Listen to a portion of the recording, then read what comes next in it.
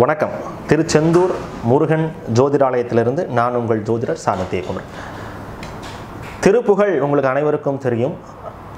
அருணகிரி நாதர் இயற்றிய திருப்புகழ் அப்படிங்கிறது.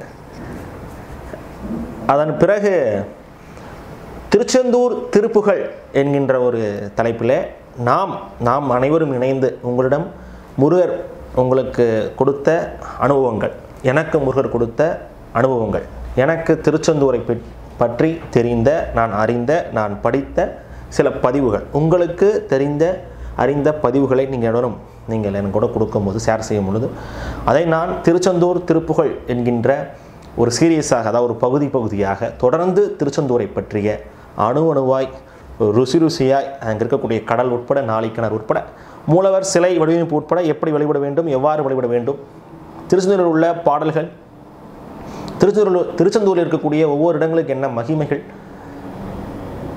அவர் பக்தர்களுக்கு நிகழ்த்திய அற்புதங்கள் இதன் அடிப்படையில் தொடர்ந்து திருச்செந்தூர் திருப்புகள் என்று நாம் பார்க்கலாம் என்று இருக்கிறோம் இந்த மேற்கண்டு வரக்கூடிய இந்த பதிவுகளுக்கு உங்களுடைய பேர் ஆதரவு எனக்கு கிடைக்க வேண்டும் என நான் நம்புகிறேன்.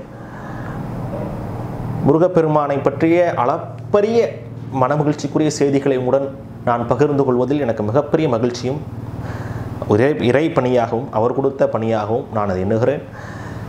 அனைவரும் இதை கேட்பதன் மூலம் தாங்கள் தங்களுடைய வாழ்க்கையில் மிகப்பெரிய ஏற்றம் மாற்றம் உங்களுக்கு உண்டாக வேண்டும் என்று திருச்செந்தூர் முருகப்பெருமானை மனமாற வேண்டிக் கொள்கிறேன். ஆடத் தடந்தோள் வாழ்க ஆறுமுகம் வாழ்க.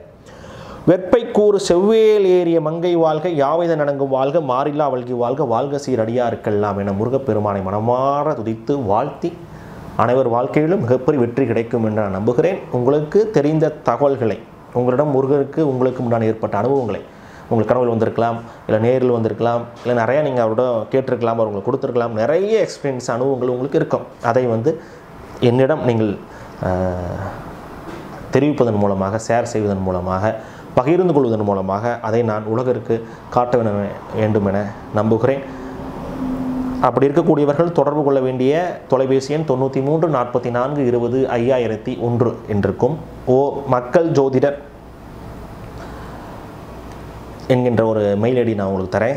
மக்கள் ஜோதிடர் NK at Gmail dot com அப்படின்னு இருக்கும். அந்த மெயில் ஐடிக்கு நீங்கள் டைப் பண்ணியோ இல்லை ஒரு வாய்ஸாகவோ எப்படி வேணால் அனுப்பலாம். அது தொடர்ந்து வரக்கூடிய பதிவுகளில் நீங்கள் பார்க்கவும் முடியும். நன்றி வணக்கம்.